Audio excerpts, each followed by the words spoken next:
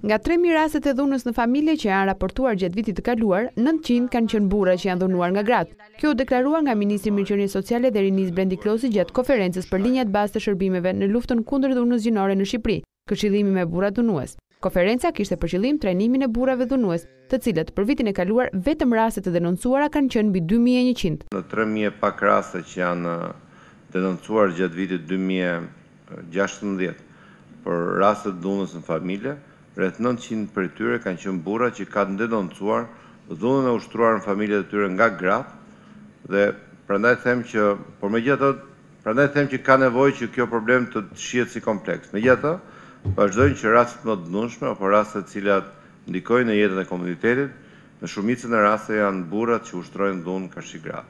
Realiteti i ushtrimit të dhunës në familje ka treguar se rastet kur thirret psikologu apo punonjësi social për të ndihmuar familjen janë shumë të pakta. Nino Merola, drejtori i Zyrës së Tiranës së Agjencisë Italiane të Bashkëpunimit për Zhvillim, u shpreh se tashmë është koha që duhet të kushtohet vëmendje trajtimit profesional të dhunuesve, sepse edhe pas denoncimit të rasteve ata vazhdojnë të mbeten të tillë.